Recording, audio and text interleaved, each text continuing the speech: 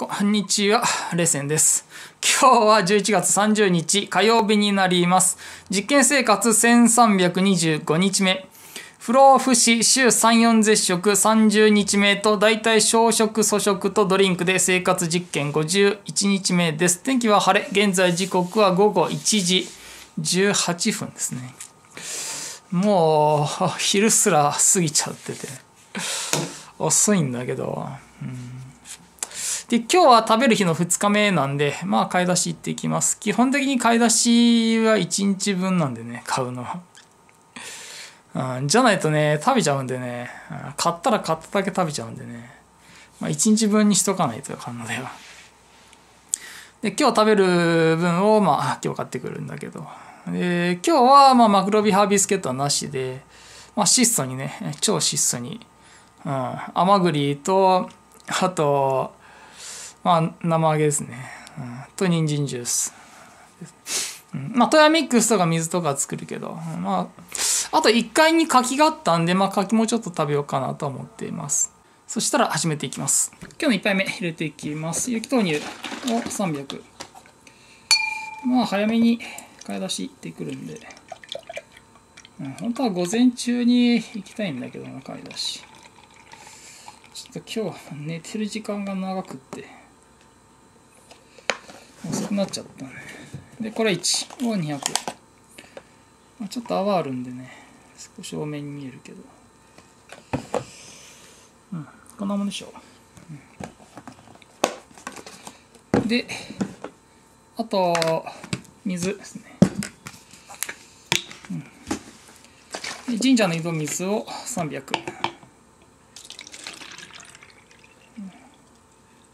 たらまあちょっと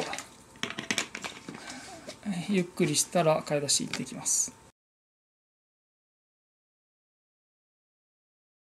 今帰ってきました。買ったもの。まず有機豆乳の補充ですね。これ3本。とあとまあ厚揚げ、半額だったんで。これ100円なんで100円が半額なんで50円なんだけどさ。原材料名大豆カナダ産または米国産。であと植物油脂と凝固剤ですね。内容量4枚。ライクス高木ってところが販売ですね。製造は支配屋さん岐阜県ですね。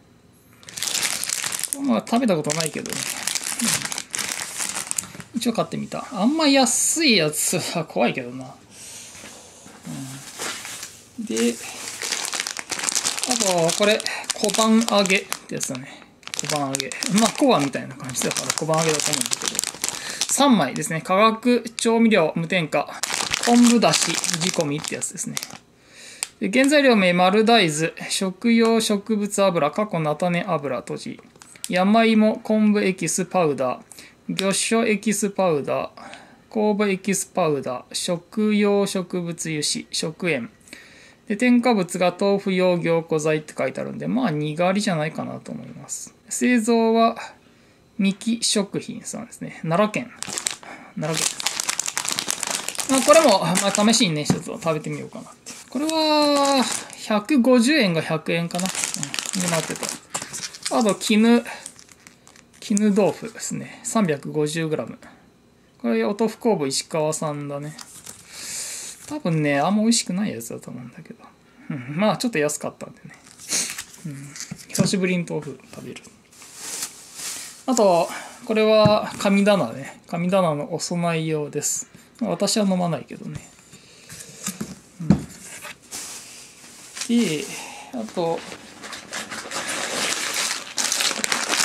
ね、甘栗大爆笑。これ2袋。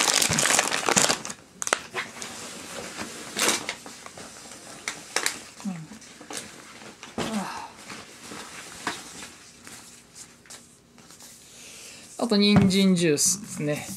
これ1本。まあ、今日中に飲んじゃう予定です。で、これ1。ね、これ1。お勤め品だったんでね。まあ、補充ですね、これも。うん、今ちょっとひっくり返っちゃったんだけど。生揚げ。ニコヤ本店さんの生揚げね。1パック2枚入り。これと、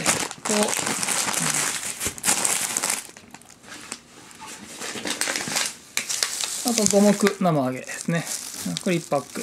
まあ、こんなところです。で、まあ、揚げ、この辺だね、生揚げ、揚げ関係を先に食べて。で使うのはいつも通りですね。まあ、すき焼きのタレ、もうないけど、今日中に多分なくなっちゃう。あと、これ、玉ねぎのやつも、まあ、今日中になくなるかな。あと、焼肉のタレですね。と、あと、田楽味噌。これね、今日行ったスーパーに100円で売ってたね。まあ、100円で買えるな。この間120円だったけど、別のスーパー、ピアゴはね、120円なんだよ。で、他のスーパーだと100円で売ってたね。100円とか108円だったかな。まあ、100円ならいいよね。で、3種類あったな、これ。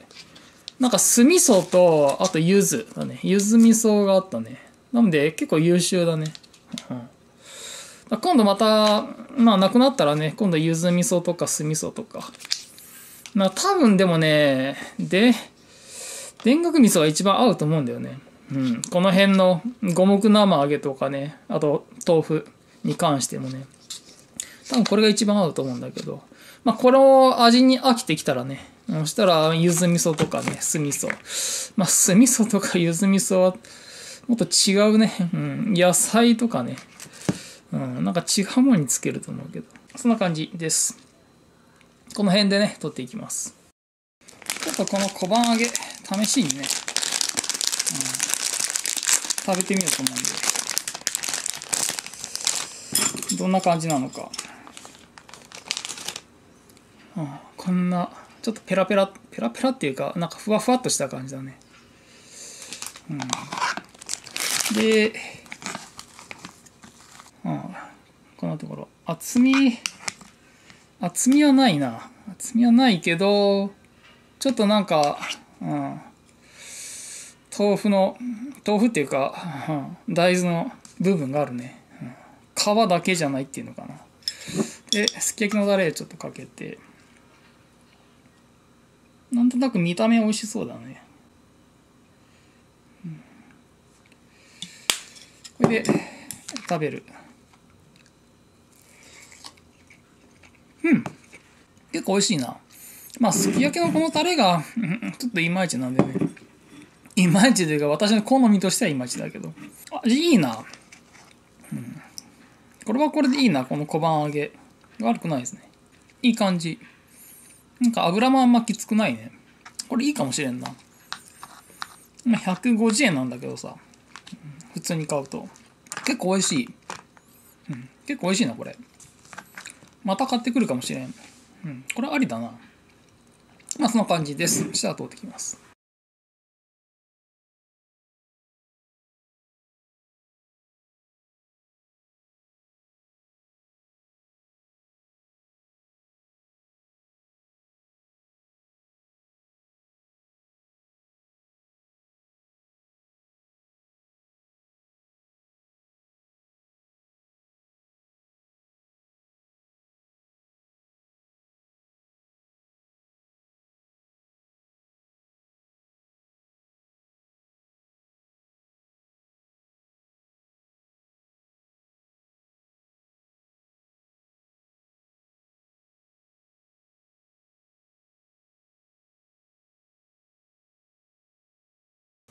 次入れていきます。神社の井戸水を300、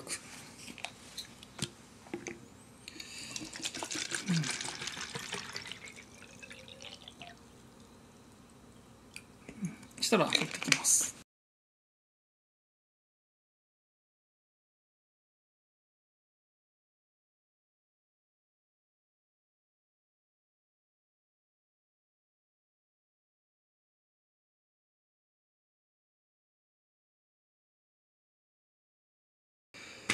今日はちょっと寝すぎちゃってね、スロースタートなんだけど、今、神棚、風呂入ってね、神棚やって、で、洗濯物干して、で、これ、柿だね。まあ、2個弱ってところです。1個は、まあ、上の方はちょっとね、なんか虫にやられてたね。虫はいなかったんだけど、うん、なんか黒い穴が開いてるっていうか。それで、まあ、上の方カットしたんでね。2個弱。あとみかんですね。みかん2個を取っていこうと思います、うん。まあ本当ならねすぐ計測した方がいいんだけど、うん、ちょっと食べてなかったんでね、うん、そしたら食べていきます。え今1時ですね。そしたら計測入っていきます。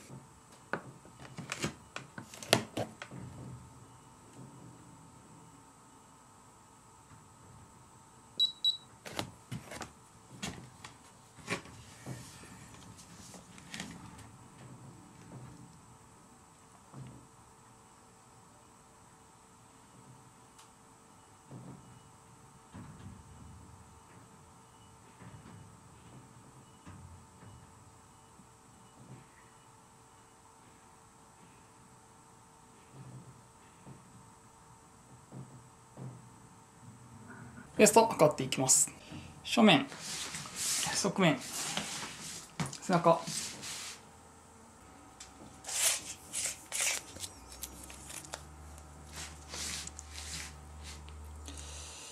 えー、77ですね。血圧126の88です。え今日の結果報告です。今日は天気晴れ。睡眠時間8時間半ほどとってます。めっちゃ寝ちゃった今日。翌日午前1時から5時半までの4時間半と、7時から8時半までの1時間半、9時から11時半までの2時間半、合わせて8時間半ですね。夜中から、まあ、お昼まで寝ちゃったってとこですね。夜中からね。で、ジョギングは今日もなし、ウェイトトレーニングもなしです。日中の室内温度午後1時頃計測で21度。湿度は31%でした。今日は暖かかったね。ああ、まあ、あの布団だとちょっと暑いぐらいだね。で、飲んだもの、有機豆乳、今日は 300ml。で、これ1が200。人参ジュース 720ml。水が今日は 600ml です。合計が 1820ml、水600のため、実質は 1220ml になります。まあ、いつも通りですね。水が今日はちょっと少ないかな。うん。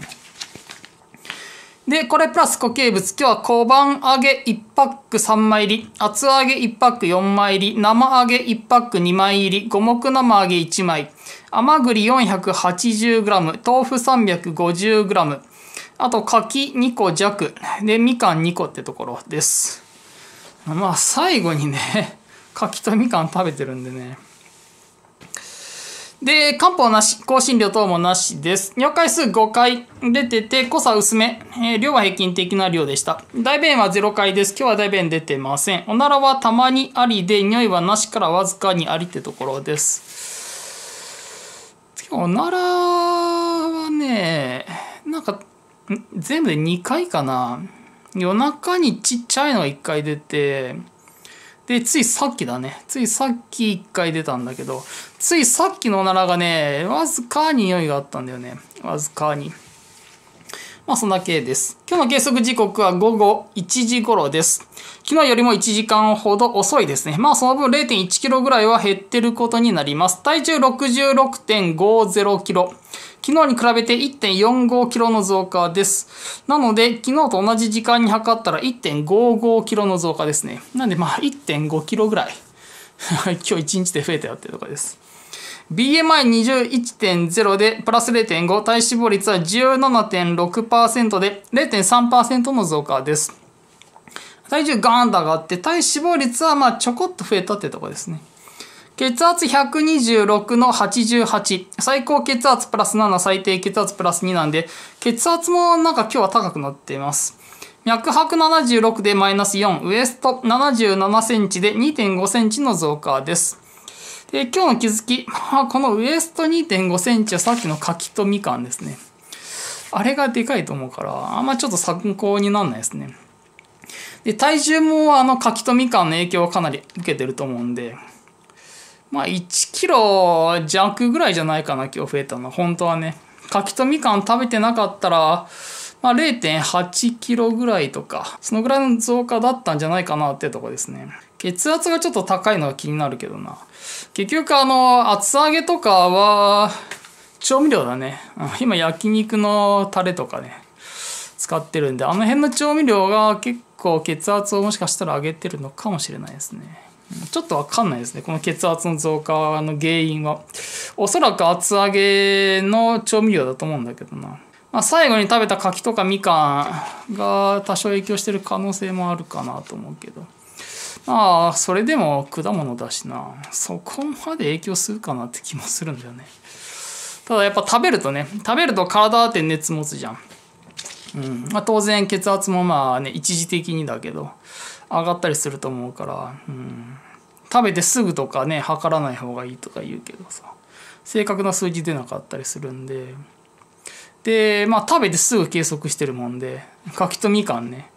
ついさっきだもんね。計測のほんとちょい前に、うん、柿とみかん食べてるから。って考えるとまあ影響はあるかもしれないんで。まあ今日の血圧ウエスト、まあ、体重も含めてあんま参考にはなんないですね。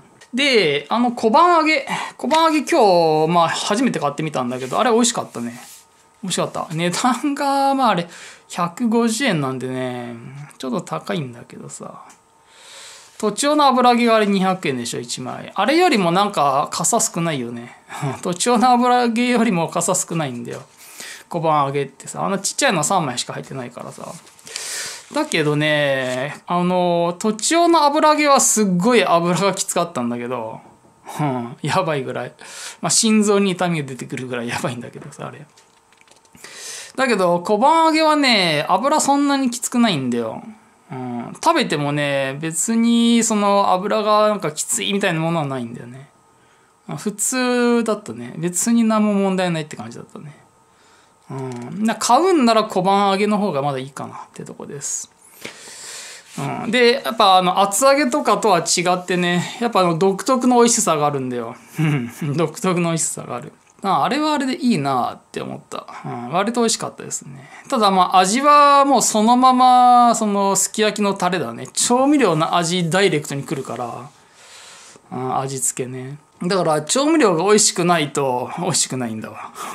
ま調味料依存っていうのかな。味はね。なんで美味しい、まあ、すき焼きのタレとかね。美味しい調味料で食べる分にはすごく美味しく食べれると思う、うん。まあ、調味料次第ってとこですね。変な調味料使っちゃうともう台無しになるって感じですね、うん、で今まあ今日なくなったんだけど、うん、まあ最近使ってたあのすき焼きのタレですね。今半のやつ。あれ、まあ、あの、販売関東圏だもんで、おそらくね、まあ、関東の味付けなんだと思うんでね。関東の味付け。関東はなんかああいう醤油がちょっときつくね、出るような味付けが、まあ、好まれるっていうのかな。じゃないかなと思う。私の、まあ、味覚としてはね、あれはちょっと醤油がきつすぎなんでね。いまいち美味しくない。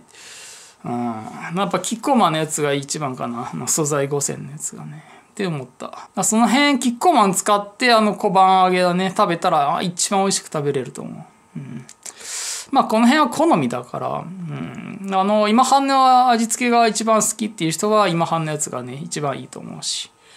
まあ何とも言えないとこですね。おそらくまあ小さい頃からね食べてきてるその味付けっていうのかな。その辺がそのうまさを感じるね基準値としてね。まあ各人それぞれね 設定されてると思うから。うん、自分が美味しいと思った調味料で食べるのがまあ一番かなってとこです。そんな感じですね。小判揚げ自体はすごく美味しいし油もきつくないんで、まあ、3枚ペロッといったところでそのなんか支障はないっていうか、うん、そんな感じだったですね、うん、あれはまあ今後レギュラー入りさせようかなって思ってるとこです。小判揚げね。で、厚揚げ。あの厚揚げはたまたまね、半額で安くなってたんだけど、まあ、柔らか厚揚げって書いてあったけど、別に柔らかくはなかったね。割と固めな厚揚げだった。だけど、まあ、食べた感じそんな悪い感じもなかったし、あれカナダ産だったかな。うん、だけどさ。まあ、外国産の大豆だけど、別に味も悪くないし、食べた時のフィーリングも悪くなかったもんで。うん、まあ、半額とかね安くなってたら買ってもいいかなと思うけどまあ普通の値段で買う理由はないかなってとこですね。別に。うん、うん、あのー、なんかこれといってね そのそれじゃなきゃダメっていう理由もないんでね、うん、であと生揚げニコヤ本店さんの生揚げですね。こっちはあの凝固剤だね。凝固剤が、まあ、にがりじゃないもんで、まあ、その辺で、まあ、使えるっていうか、うん、むしろこれを選んだ方がいいっていうふうに、まあ、思えるところがあるんで、うん、なので、まあ、ニコヤ本店さんの生揚げは、まあ、メインでね、メインで使っていくってとこです。うん、まあ、安定して味も美味しいし、体に入れた時の感じもいいから、うん。まあ、今後も使っていこうかなと思ってます。値段はちょっと高いけどな。200円なんでね。うん、ニコヤ本店さんの生揚げですね。うん、でも、あの小判揚げとこの生揚げですね。は、まあ、今後ちょっとレギュラーとしてね、使っていく予定です。あと、五目生揚げ。五目生揚げも凝固剤何使ってるのかわかんないんだけどさ、あれ。凝固剤としか書かれてないもんで。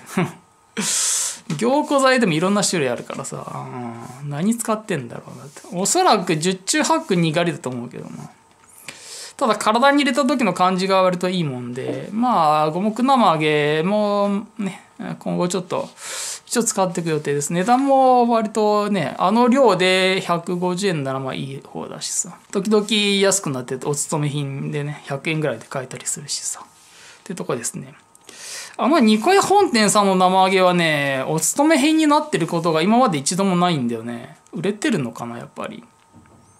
うん、あんまり売れてるような感じもしないんだけどさ。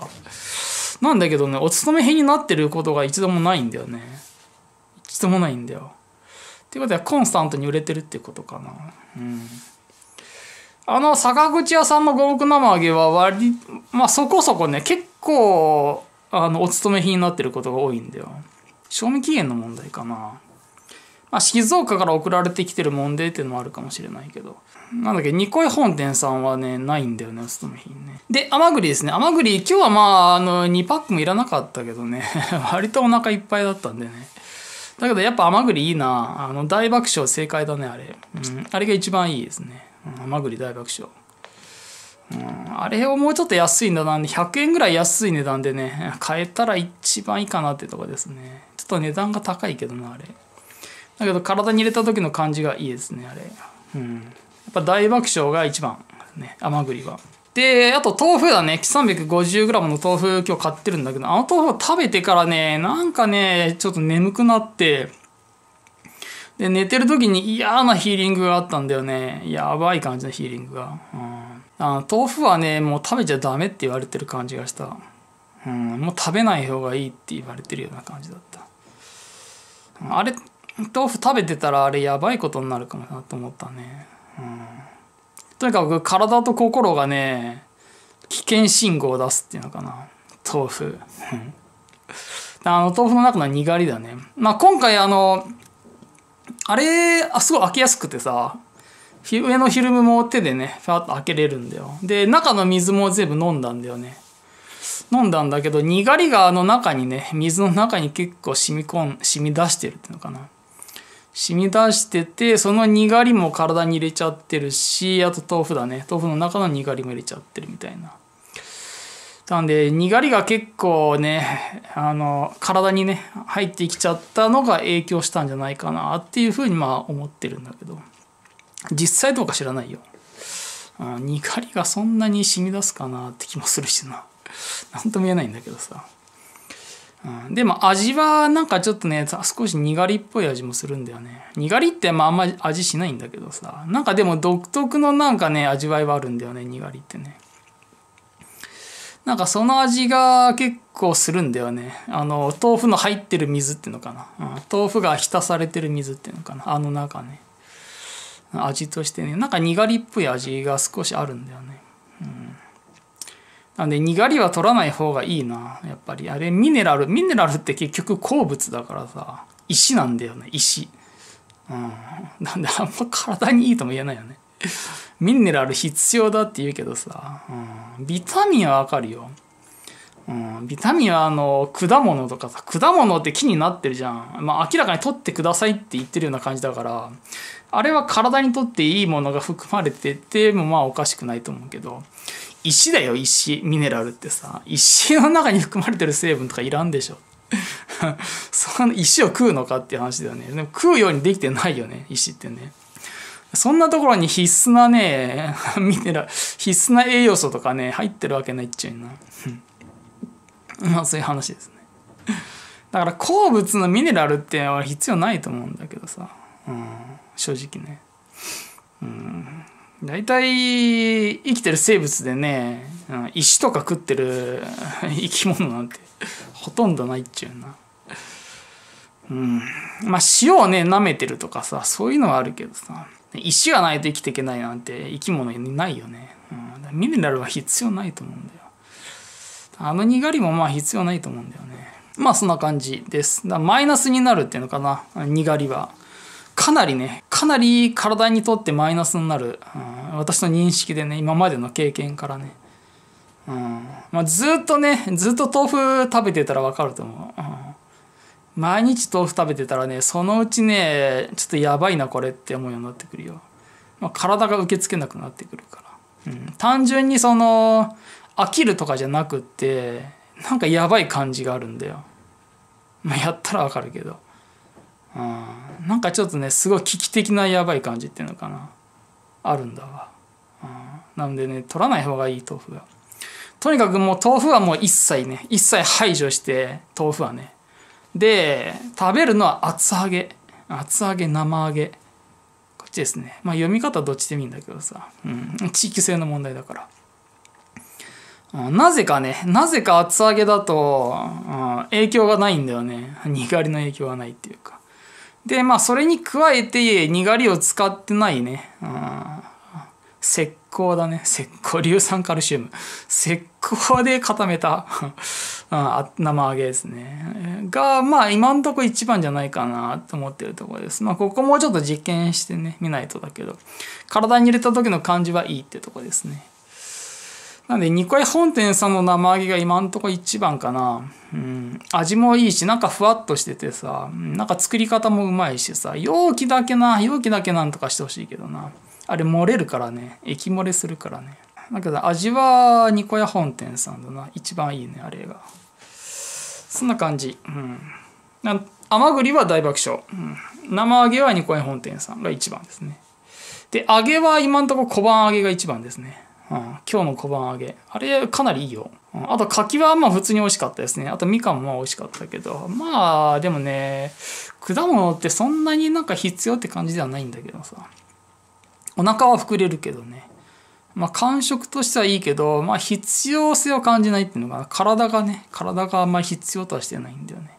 まあそんなところです。今日はだいぶ体重増えちゃったんでね。21だよ BMI21 まあいいけどさ3キロだね3キロ減らしたらまあ20.0に戻せるかなで明日は絶食明日明後日だね2日間絶食するんであとはミックス3杯と、あと水ですね。水はメープルレモン水。で、ビオロジコイルズのレモン果汁があと1回分ぐらいなんで、まあそれ使っちゃって、で、以降は広島レモンですね。広島レモン、あの細いね。まあ少ししか入ってないけど。あれ入れてやっていく予定です。まあ量をちょっと少しセーブしようかな。うん、少なめにね。まあ一応 5g ってことにはするけど。うん、やっぱね、広島レモンの方がうまい。もう全然違うビオロジクルーズの方が値段は安いけどさ、うん、安いけどね味が全然違うんだわ、うん、絶対買うなら広島レモンだねまあ値段的に許すならねどうしても安い方じゃなきゃっていうだったらビオロジコイルズだけど。あれはまあネットでねアマゾンとかで買うっていうのがいいかなと思うけど。値段的にねまあ多少ね高くてもいいっていうことなら広島レモンで一択ですね。うん。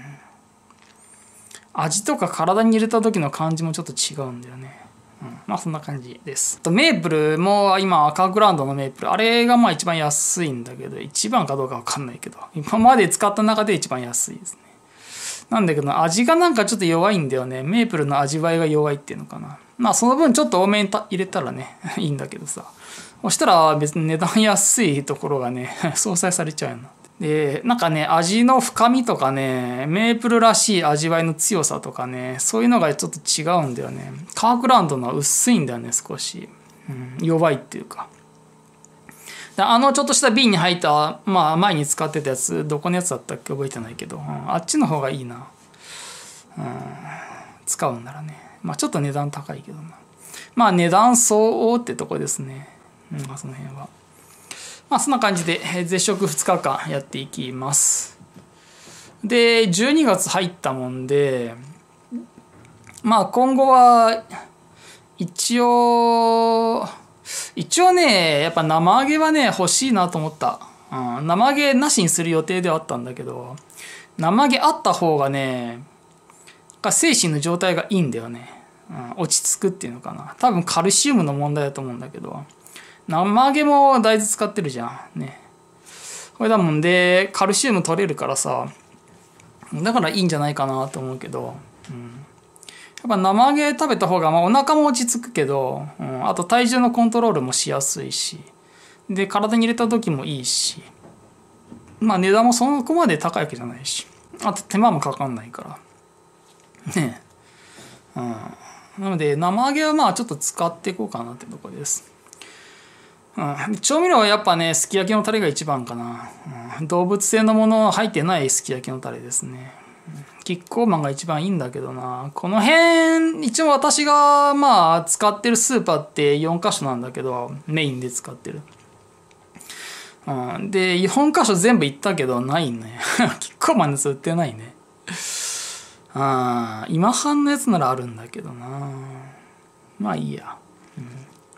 まあ、最悪ね最悪ネットで買うってとこですね。やっぱり、うん、味が違うんでね。一番いいなと思えるのはキッコーマンの素材5選のすき焼きのタレですね。あれが一番いいな、うん、まあ焼肉のタレはちょっといまいちだな、うん、まあそんな感じです、まあ、食べれなくはないけどね。まあこんなところかな。うん。あの豆腐はとにかくやばいよっていうね。豆腐はもうあの取っちゃダメって感じですね。うん、豆腐はね。それだけですね。なんで、まあ、12月は一応、まあ、今みたいな感じですね、まあ、34絶食。うん、できたらどっかでもうちょっと絞るかもしれないけどね、うん、もしかしたらね。ちょっとどうなるか分かんないですね。一回ね生揚げなしでもう栗だけだね。甘栗だけでやってみたいんだけどね実験。甘栗だけだったらどうなのかなっていうね。うん。まあ12月中にもしかしたらやるかもしれないです。生揚げなしですね。甘栗だけって、まあ、魂と相談してね、うん、まあでも生揚げと甘栗でやっていくのが一番いいんじゃないかなとは思っています。今んとこね。うん。おそらくね。そんだけかな。うん。そしたら実験生活。1325日目完了です。それではまた明日。